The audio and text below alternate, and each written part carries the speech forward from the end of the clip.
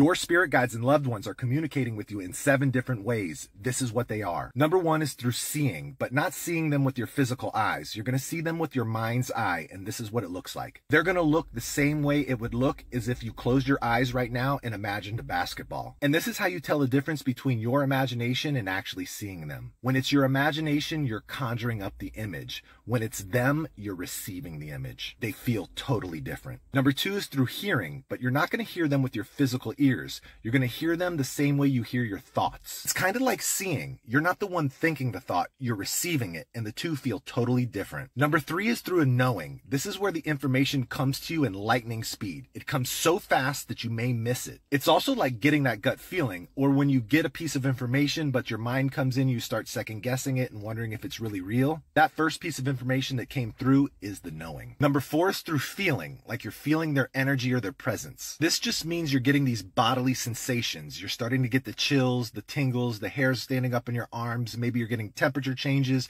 You're feeling lightness in your chest.